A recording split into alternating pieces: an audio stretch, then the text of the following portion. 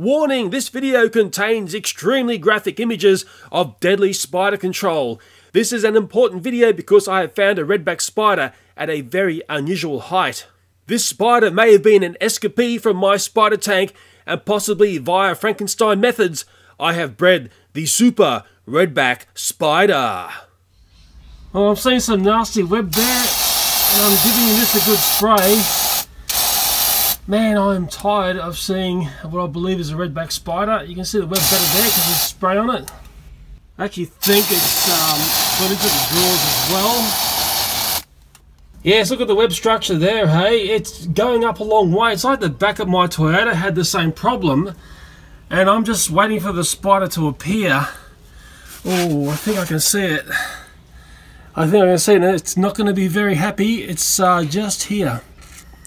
Okay, there's the red back there.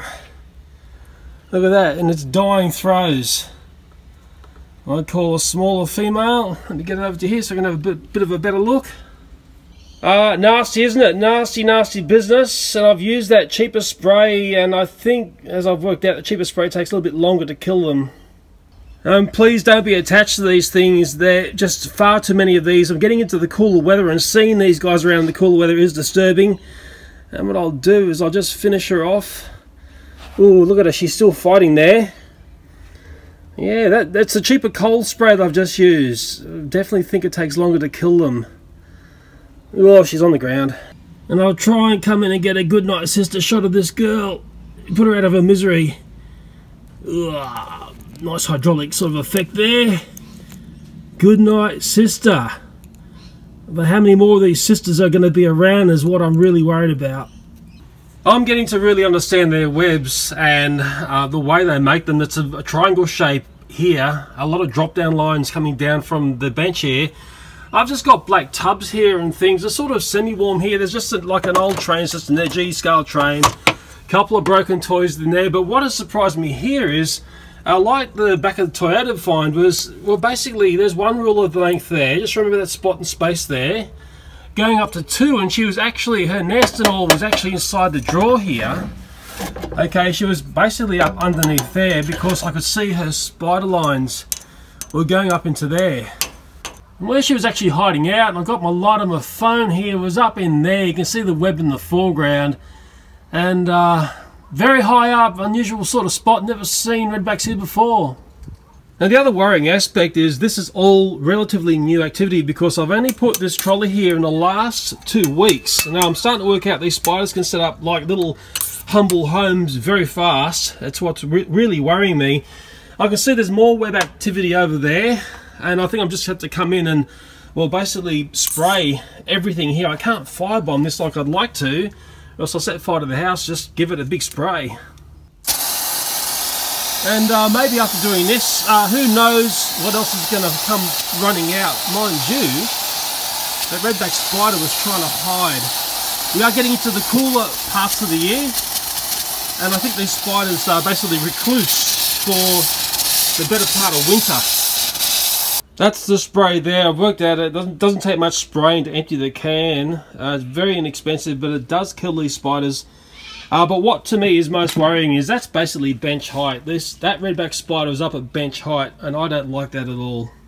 And while I'm down here, I can see there's a lot of web activity up between these tubs. These redback spiders love tubs like this because there's a lip under here. And if I can drag my special tool under here, no, coming up clean. Like I really think this is a fairly new infestation. A bit of web's come out on that. Oh yeah, there's lots of web down there. Nasty business, isn't it? Finding that female redback spider at the workbench really worries me, and it worries me on a couple of fronts. Uh, for the fact of how high it was able to set up its web there. It was very similar to the height that I found the one underneath my car, that Toyota. I say Toyota because it was a Toyota made in Thailand. Okay, about the same height. To me, this is like getting up to like hip height. If you can imagine that. The spider's up at hip height and can drop webs all the way down to the ground. And it's waiting for something to come along and get snared in one of those drop down lines. I'm becoming uh, very good at identifying those drop down lines. They are very, very fine uh, spider web and you really got to look carefully to see them. I'm finding these spiders all around the house. I'm finding them very close to the doorways of our house, but I'm yet to find one inside our house. Now, what I think may have happened here is with the spider tank, and you haven't seen what happens at the end of the spider tank, but the blossoming of spiderlings in the spider tank, some of those spiderlings may have spilled out of that spider tank, and that's part of the the infestation I'm having close to my home because I basically have the spider tank down in my garage. Silly move, I know. Uh, but maybe these spiders that I'm seeing up close to the home are escapees from the spider tank, and maybe the spider tank started to breed the super spider, the super redback spider, because of the way they're eating each other out. Okay, um, very, very. Look, they're interesting spiders, but I think the problem I've got in my place is by the time our summer rolls around, I think about Halloween time is when we start to get into warmer weather. I know you'll be the reverse. Okay, it's very confusing. The world is round and we go around the sun and it's also tilted. Confuses me as well. But uh, I think when we come back to our summertime, I'm going to find one of the greatest all-time, most scary redback spider infestations in my backyard that you're ever going to witness. That's my gut feeling because of what I'm seeing going into our cooler weather. I'm finding these spiders everywhere. I think I need a, I need a professional help, be it a nuke from North Korea or something. Maybe you've got the answer. If you are curious about my WD-40 experimental area to stop redback spiders, uh, that's what it's looking like in early May. That's the best way of saying it. Who knows when this video will be uploaded, I just do not know. Um, just, I don't want to disturb too much here. But uh, one thing about these spiders is that you'll see little bits of web uh, coming down from things if they have been setting up. Now at the moment, I can't really see anything going on here just by looking at it on top, but who knows what's going on underneath. Mrs. Cow, the garden ornament, was not sprayed with WD-40 and I would highly suspect there is activity going on inside her, that is redback spider activity. Hmm, what can I see up there? Is it in focus? I can see web up there, but just at the moment I cannot see the spider. Yeah, I'll probably see better with my own eyes than trying to work it out with the iPhone. Uh, who knows what's going to be in there by Halloween time, which is the time when one year is up. And we come along and we see if the WD-40 has stopped them setting up in this. That one was left without WD-40. Uh, this one had spray on it, and so did that one there. And this is an important area because this is where the enormity of my redback spider infestation uh, really kicked off. It was my son asking, Daddy, can you get a Nerf dart, which is down amongst the trucks? And it started a world of pain. Only time will tell, basically next Halloween, Halloween of 2017, we'll have a very good look at what's going on in there. Yes, it's always a worry leaving old toys around and uh, I know you're going to ask about this excavator. This is something that I purchased for my son. It was a couple of years ago now, but the, it didn't last very long. It's probably loaded with spiders. Um, the track on this uh, just disintegrated. It just went all, you know, it just breaks so easily and it was a really, really disappointing aspect what was a very, very awesome uh, remote controlled excavator. Hmm, maybe there are spiders in here. I can fix that. There used to be a time when I'd put something like that up as a bit of a garden ornament. Those days are over because of my spider problem. That's the rubbish track that was with that vehicle.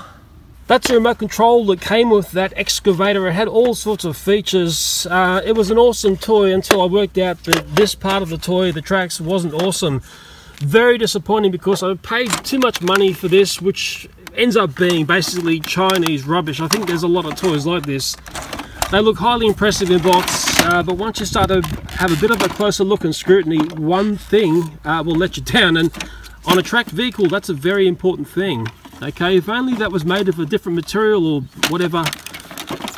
Anyway, I think I saw a spider in there. We're going to deal with it in the way I know my audience loves. And from what I've learned, using this method kills spiders very fast. There's something so cleansing about flames.